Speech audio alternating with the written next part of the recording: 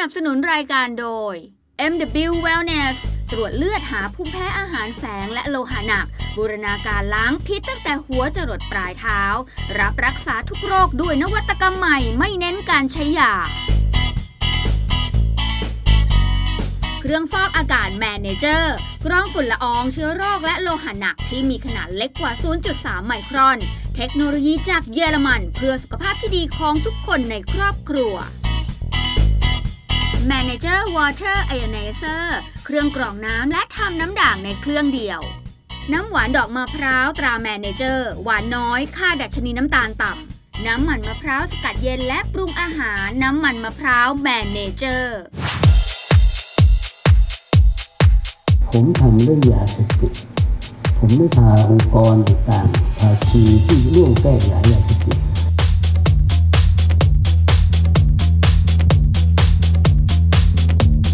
กำลังจะบอกว่าจริงๆทุกวันนี้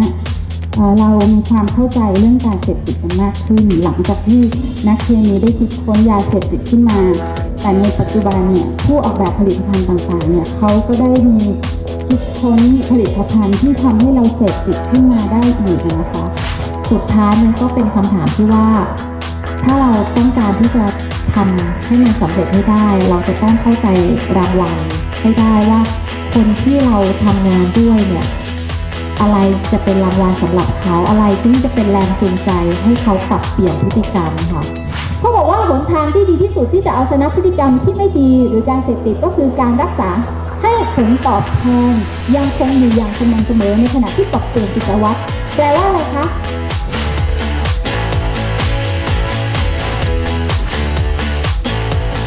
ราะการเสพติดค่ะสิ่งสำคัญก็คือเป็นเรื่องของปัจจัยด้านที่เกี่ยวข้องกับสภาพแวดล้อมนะคะ โดยการเสพติดเนี่ยมันก็มีเริ่มต้นมานานแล้วนะคะ แต่เรื่องที่อยากจะเล่าเนี่ยเป็นเรื่องที่เกี่ยวข้องกับสภาพแวดล้อมที่ทำให้เกิดการเสพติดอย่างเมื่อ 47 ปีมาแล้วอะค่ะ หรือปีคศ1971 นะคะ เมื่อเกิดสงครามขึ้นที่เวียดนามเนี่ย ในช่วงระหว่างเวลาสงครามอะค่ะ จริงๆ ถ้าเราเคยชมภาพยนตร์หรืออะไรแบบนี้ค่ะ ก็จะเป็นเรื่องของการสู้รบการต่อสู้ต่างๆ แต่ว่าในการสงครามที่แท้จริงเนี่ย มันก็มีช่วงที่ไม่ได้รบ เป็นช่วงเวลาของการอยู่เฉยๆ การรอระหว่างการรบครั้งต่อไป หรือว่าการรอคำสั่งจากหัวหน้า ช่วงเวลาว่างๆ ว่างๆ เหล่านี้ค่ะ มันก็เป็นช่วงที่ทำให้เกิดความเบื่อหน่าย แล้วก็ไม่ใช่ทุกคนที่จะเลือกทำในสิ่งที่ ส่งเสริมกับพฤติกรรม หรือว่าทำให้มีสุขภาพดี แล้วก็ที่สงครามเวียดนามในตอนนั้นนะคะมันก็เวียดนามก็อยู่ใกล้ๆสามเหลี่ยมทองคำนะก็เป็นบริเวณที่มีเฮโรอีนเนี่ยสามารถเข้าถึงได้อยู่ทั่วไป แล้วก็ราคาก็ไม่แพงทหารเกณฑ์ที่ไปร่วมเข้าร่วมรบในครั้งนั้นเนี่ยก็หลายๆคนก็เริ่มที่จะใช้เฮโรอีนในเวลาช่วงของความเบื่อหน่ายนั้นนะคะ ผลวิจัยมีการเก็บข้อมูลจากทหารเกณฑ์ที่กลับมาจากการรบสงครามในครั้งนั้นนะคะ ก็พบว่าหนึ่งในสามของทหารที่ไปรบที่ประเทศเวียดนามเนี่ยเคยใช้เฮโรอีน แล้วก็มีประมาณร้อยละสิบเก้าที่บอกเลยว่าพวกเขาติดยาเสพติดประธานาธิบดีของสหรัฐอเมริกาในตอนนั้นก็มีความเป็นกังวลกับเรื่องนี้มากนะคะ เพราะว่าอยู่ดีๆ ถ้าเกิดว่าจะต้องมีทหารเกณฑ์กลับจากรบที่ประเทศเวียดนามมา แล้วก็เป็นผู้ที่ติดยาเสพติดกลับมาเลยหนึ่งแสนคนพร้อมกันในครั้งเดียวเนี่ยเขาจะจัดการกับปัญหาเรื่องนี้ได้ยังไง เพราะฉะนั้นเขาก็เลยระดมความคิดเห็นแล้วก็เตรียมการที่จะแก้ปัญหา พร้อมกับให้มีการเก็บข้อมูลวิจัยกับทหารเกณฑ์ที่กลับมาจากการรบที่ประเทศเวียดนามอะค่ะผลที่ได้ก็คือว่าโดยปกติเนี่ยผู้ที่ติดยาเสพติดอย่างที่เราทราบกันก็คือว่าจะมีอัตราการกลับไปใช้ยาซ้ำสูงมากนะคะ แต่ว่าการเก็บข้อมูลจากทหารเกณฑ์ที่กลับมาจากการรบที่ประเทศเวียดนามเนี่ยพบว่ามีเพียงแค่ร้อยละห้าเท่านั้นที่มีการกลับไปใช้ยาซ้ำซึ่งเรื่องนี้เนี่ยการวิจัยครั้งนั้นก็ถูกโจมตีเหมือนกันนะคะ เพราะว่าเป็นว่าในเรื่องของความน่าเชื่อถือของการวิจัย แต่จริงๆแล้วเนี่ยเรื่องนี้ก็สามารถจะตอบได้จากการทดลองก่อนหน้านั้นอีกหลายทศวรรษนะคะ ที่ห้องทดลองด้านประสาทวิทยาของสหสหรัฐอเมริกาค่ะก็มีนักวิจัยสองท่านที่ชื่อว่าปีเตอร์มิลเนอร์แล้วก็เจมส์โอ อันนี้เขาก็ทำการทดลองกับหนูโดยเขาฝังอุปกรณ์ชิ้นเล็กเอาไว้ในสมองของหนู ซึ่งอุปกรณ์ชิ้นนี้ก็จะมีการกระตุ้นไฟฟ้า ไปที่ตัวหนู เมื่อหนูเนี่ยกดที่แท่นกดที่แท่นเนี่ยนะคะ กดที่แท่นปุ๊บ หนูก็จะโดนกระตุ้นไฟฟ้า ซึ่งการคาดหวังของการทดลองนี้ก็คือว่า ถ้าเกิดหนูกดแท่นปุ๊บโดนกระตุ้นไฟฟ้าเนี่ยเขาก็คาดว่าหนูจะต้องวิ่งหนีจากแท่นนี้ไปเลย ซึ่งผลมันก็ออกมาเป็นอย่างนั้น ยกเว้นกับหนูหนึ่งตัวเพราะเพราะว่าพอกระตุ้นปุ๊บพอพอหนูกดกดแท่นปุ๊บโดนกระตุ้นปุ๊บแทนที่หนูจะหยุดกด หนูตัวนี้ค่ะกับกดซ้ำอยู่แบบนั้น ตอนแรกนักวิจัยก็สงสัยว่าเอ๊ะหรือว่าหนูตัวเนี้ยจะจะมี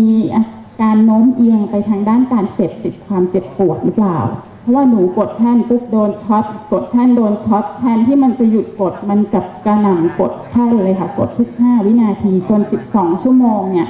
หนูตัวนั้นไม่ได้ทานอาหารไม่กินน้ำอะไรเลย หลังจากนั้นนะนักวิจัยเขาก็ผ่าตัด สมองของหนูออกมาดู ก็พบว่าเจ้าอุปกรณ์ที่ฝังเข้าไปในสมองของหนูอะค่ะ มันโค้งงอแล้วแทนที่มันจะไปอยู่ในส่วนที่กระตุ้นไฟฟ้าของหนูโดยปกตินะคะ มันกลับไปกระตุ้นบริเวณที่ทำให้หนูเกิดความเพลิดเพลิน เพราะฉะนั้นการกดของหนูเนี่ยมันก็ได้กระตุ้นไฟฟ้า แต่การกระตุ้นไฟฟ้าของมันคือความเพลิดเพลิน หรือมันไปโดนสมองส่วนที่เรียกว่า pressure center มันก็เลยรู้สึกสนุกสนาน แล้วก็กดแท่นจนตาย หลังจากนั้นค่ะ ก็มีอีกการทดลองหนึ่งซึ่งทำการทดลองตามการทดลองของหนูตัวนี้นะคะ แต่เป็นการทดลองของนักวิจัยที่ชื่อว่าอาเยโรทนเบิร์กซึ่งเขาก็เขาก็ทดลองกับลิงกระรอกตัวนี้ลิงกระรอกตัวนี้ชื่อว่าคลีโอพัตราเขาก็เอาลิงกระรอกตัวนี้มาทดลองซ้ำเหมือนกันที่ทดลองกับหนูเลยค่ะ แล้วก็ ได้ผลเหมือนกันเลย แต่สิ่งที่เขาทดลองเพิ่มเติมก็คือว่าหลังจากที่เขามีการนำคลีโอพัตาออกมาจากกรงเป็นระยะระยะ แล้วพอทุกครั้งที่เขาเอาคลีโอพัตาออกมาจากกรงเนี่ยเขาก็พบว่าคลีโอพัตาก็เหมือนมีอาการถอนพิษคือหายหายจากอาการกดแท่น ไม่ได้กดแท่นแล้วแล้วก็กลับมากินอาหารกินน้ำเหมือนเดิม แต่พอเอาคลีโอพัตากลับเข้าไปใส่ในกรง มันก็กลับเป็นกดเหมือนเดิมเลยค่ะ มันก็กลับไปกดแท่นอยู่ตลอด การทดลองที่เล่ามาทั้งหมดเนี่ยค่ะ ก่อนหน้าที่จะเริ่มการทดลองเนี่ย ทั้งหนูทั้งคลีโอพัตราไม่ได้มีแนวโน้มของการเสพติดมาก่อน รวมถึงนายทหารที่ไปไปรบที่ประเทศเวียดนามเนี่ยคนเหล่านี้ไม่ได้มีร่องรอยของการเสพติดมาก่อน แต่ว่าเพราะว่าสถานที่และสภาพแวดล้อมบางอย่าง ที่ทำให้คนเหล่านี้ค่ะเขาเริ่มไปใช้ยาเสพติดหรือมีพฤติกรรมเสพติดบางอย่าง เพราะฉะนั้นที่จะจะจากสามเรื่องที่เล่ามาแล้วเนี่ยค่ะ ก็คืออยากจะบอกว่า ในสภาพแวดล้อม บางสภาพแวดล้อมอะค่ะ คนเราทุกคนเนี่ยก็สามารถที่จะกลายเป็นคนเสพติดได้เช่นกัน นอกเหนือไปจากการเสพติดแล้วนะคะ อย่างที่กล่าวไว้ตอนต้นว่าจริงๆการเสพติดในที่นี้เนี่ยเราไม่ได้พูดเฉพาะถึงแค่การติดสารเสพติด แต่ว่าเรายังพูดถึงการเสพติดอีกแบบหนึ่ง ซึ่งมีความคล้ายคลึงอย่างมากเลยกับการเสพติดสารเสพติดนะคะ นั่นก็คือการเสพติดพฤติกรรม ซึ่งในที่นี้เนี่ยการเสพติดพฤติกรรมเนี่ยมันถูกเร่งให้มากขึ้นเนี่ย ความพื้นความต้องการพื้นฐานของมนุษย์บางอย่าง ซึ่งก็คือความผูกพันกับสังคม การสนับสนุนจากสังคม แล้วก็แรงกระตุ้นในจิตใจที่ทำให้มนุษย์มีการเสพติดพฤติกรรมนะคะแล้วก็การเสพติดสารเสพติด ทีนี้ถ้าถามว่าแล้วการเสพติดพฤติกรรมเนี่ยมันเริ่มต้นขึ้นในชีวิตของเราตั้งแต่เมื่อไหร่ ก็มีการวิจัยที่บอกมาว่า ที่เขาทำการสำรวจในทารกแรกเกิดอายุ 2 เดือนนะคะ ก็พบว่าเมื่อนำวัสดุที่มีการเคลื่อนไหวได้ หรือว่ามีความแหลมคมไปห้อยอยู่หน้าเด็กทารกเนี่ย เด็กทารกจะไม่สามารถมองสิ่งอื่นใดได้เลยนอกจากวัสดุชิ้นนี้ นักวิจัยเขาก็เรียกว่าเด็กทารกเหล่านี้ค่ะ แสดงอาการของการเสพติดพฤติกรรมที่มีต่อวัสดุและการเคลื่อนไหว จนมาถึงชีวิตของเราในทุกวันนี้ค่ะ การเสพติดพฤติกรรมมันมันหมายถึงหลายสิ่งหลายอย่าง หมายถึงการช้อปปิ้งการใช้โซเชียลมีเดียการติดเกม ติดการพนันติดอะไรหลายอย่างอย่างและสิ่งที่การเสพติดพฤติกรรมเนี่ยมันรุนแรง เพราะว่ามันซ่อนตัวอยู่ในตัวเราอยู่ได้อย่างแนบเนียนมากเลยค่ะ ถ้ามองจากภายนอกเนี่ยเราแทบจะไม่ได้รู้ได้เลยว่าใครอย่างที่มีกำลังมีการเสพติดพฤติกรรมอะไรอยู่บ้าง คนเหล่านี้ค่ะ ถ้ามองจากภายนอกเราก็อาจจะไม่ทราบว่าเขากำลังมีการเสพติดอะไรแบบนี้อยู่ แต่ว่าเราจะรู้ได้ยังไงว่าจริง ๆ แล้วเนี่ยในใจของเขาเนี่ยมีความทุกข์มากแค่ไหน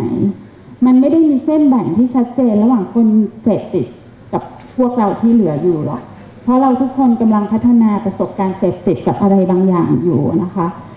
แล้วที่มันเป็นเช่นนี้ค่ะ มันไม่ได้เกิดขึ้นโดยบังเอิญ เบื้องหลังของการเสพติดเหล่านี้ค่ะ มันถูกออกแบบมาอย่างดี เจ้าของผลิตภัณฑ์ ผู้ออกแบบผลิตภัณฑ์ต่างๆ ที่เขาออกแบบมาเนี่ยเขาคิดค้นและวิจัยด้านพฤติกรรมมนุษย์มาอย่างดี ถึงวิธีการที่ทำให้เราเสพติด พวกเขาทำตามกฎขั้นพื้นฐานของผู้ค้ายาเสพติดเลยค่ะว่า อย่าหลงมัวเมาในผลิตภัณฑ์ของตัวคุณเอง หมายความว่ายังไง ขอยกตัวอย่างสตีฟจ็อบนะคะ ทุกคนคงทราบรู้จักสตีฟจ็อบดีว่าเขาเป็นผู้ออกแบบคิดค้นเทคโนโลยีชั้นนำของโลกอยู่แล้วนะคะ แต่สิ่งที่เขาทำคือว่าเขาควบคุมการใช้เทคโนโลยีของลูกๆในบ้าน หรืออีวานวิลเลียมอีวานวิลเลียมคือผู้ก่อตั้ง Twitter เขากลับซื้อหนังสือเป็นร้อยร้อยๆเล่มให้กับลูกของเขา แต่ว่าเขาก็ไม่ให้ลูกใช้ iPad เหมือนกัน แน่นอนว่าผู้ออกแบบผลิตภัณฑ์เหล่านี้ค่ะเขาทราบดีเขาเป็นคนแรกที่ทราบดีถึงผลกระทบของมัน และเขาก็เลือกที่จะไม่ให้คนในครอบครัวหรือลูกของเขาเนี่ยได้รับผลกระทบนั้น ผู้ออกแบบผลิตภัณฑ์เหล่านี้ค่ะเขาทำตามกฎขั้นพื้นฐานของคนค้ายาเสพติดเลย นั่นก็คืออย่าหลงมัวเมาในผลิตภัณฑ์ของตัวคุณเองนะคะ ผู้ออกแบบผลิตภัณฑ์ไม่ว่าจะเป็น คนออกแบบคิดค้นอีเมล สมาร์ทโฟน หรือว่าแอปพลิเคชัน Facebook โซเชียลมีเดียต่างๆ ขึ้นมาเนี่ยเขาออกแบบผลิตภัณฑ์เหล่านี้เข้ามาขึ้นมาเพื่อให้เราใช้มัน แล้วไม่ใช่เป็นการใช้เพียงครั้งเดียวแล้วเลิก แต่ว่าเป็นการใช้ซ้ำแล้วซ้ำอีกใช้จนเสร็จติดการที่เขาออกแบบมาแบบนี้ค่ะเขาเข้าใจดีในด้านของ ในในความคิดของระดับปัจเจกบุคคล ทั้งในด้านของความต้องการในจิตใจของตัวเอง แล้วก็ในระดับสังคม ซึ่งปัจจัยทั้งหมดเนี่ยมันมีทั้งหมด 6 ด้านนะคะที่เป็นเรื่องของความคิดของปัจเจกบุคคลนะคะปัจเจกบุคคลอันดับแรกเลยค่ะ เราจะมีการแสวงหาเป้าหมาย เป้าหมายในที่นี้คือการที่เราใช้ผลิตภัณฑ์ที่ทำให้เราเกิดการเสพติดเนี่ยเขาเข้าใจเรื่องของการตอบสนองค่ะ Facebook หรือ Instagram เนี่ยมาร์คซักเคอร์เบิร์กเข้าใจดีเป็นอย่างมากนะคะ ว่าคนเราต้องการที่จะเปรียบเทียบตัวเองกับผู้อื่นอยู่ตลอดเวลา และเราไม่มีทางที่เราจะทราบถึงคุณค่าของตัวเราเองได้อย่างแท้จริง สิ่งที่เราจะรู้ว่าเรามีคุณค่ามากน้อยยังไงเนี่ยอยู่ที่จำนวนไลค์ค่ะไลค์หรือคอมเมนต์เนี่ยจะบอกว่าเรามีคุณค่ามากน้อยแค่ไหนนะคะ สิ่งนี้ก็เป็นเรื่องของการตอบสนองนะคะ หรือเป็นเรื่องของความก้าวหน้า คนที่เสพติดเกมเนี่ยในแต่ละเกมมันจะมีความยากขึ้นไปเรื่อยๆ มันทำให้เราหยุดเล่นไม่ได้ค่ะ เราก็ต้องเล่นมันต่อไปเรื่อยๆเรื่อยๆ มันก็คือเรื่องของความก้าวหน้าและการขยายขอบเขตนะคะโคโค่เมกะทรี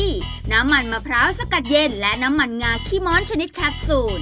ปรับสมดุลร่างกายคืนความสดชื่น น้ำดื่ม alkaline แมเนเจอร์ แบบขวดสะดวกพกพา ออกกำลังกายเวลาไหนก็ได้ ใจกลางถนนรัชดาพิเศษ ต้องรัชดาฟิตเนส 24 ชั่วโมง